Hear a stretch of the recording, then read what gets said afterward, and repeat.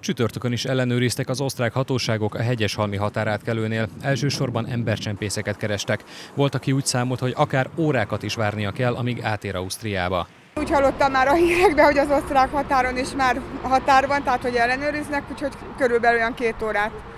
Két órás várakozásra számítok, többre nem remélem. A lépésben is, de folyamatosan haladt a forgalom. Elsősorban a teherautókat és furgonokat állították meg, de minden személyautóba benéztek a rendőrök. Mára a közeli gyűjtőpont is teljesen kiürült, a rendőrök bontották le a kordonokat. Az ellenőrzések miatt az elmúlt napokban az ingázók nehezen jutottak el munkahelyükre. Rendkívül nehéz volt, és nagyon megviselt bennünket, hogy egyáltalán nem tudtuk se a napunkat, se a munkarendünket tervezni, és a munkáltatóink maximális megértésére volt szükség ahhoz, hogy egyáltalán végig tudjuk csinálni ezeket a napokat. Nem tudtuk tervezni, hogy mikor kelljünk fel, milyen irányba induljunk el, mekkora kitérőt kell tennünk. Szóval nagyon-nagyon nehéz volt. Idegileg én azt mondom, hogy nem csak engem, hanem sok mindenki más is megviselt ez a helyzet.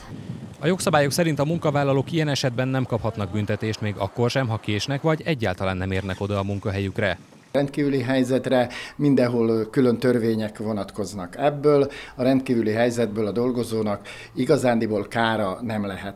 Természetesen a dolgozónak is van itt feladata, mert ha tudja, hogy mi várható, akkor, hogy példát mondjak, előbb kell elindulni, más közlekedési eszköz kell választani. Ausztriában tulajdonképpen annyira szabályozva ez nincsen, de az elvárható, hogyha a, ilyen elé áll a dolgozó, akkor a legrövidebb időn belül jelezze a munkáltatójának.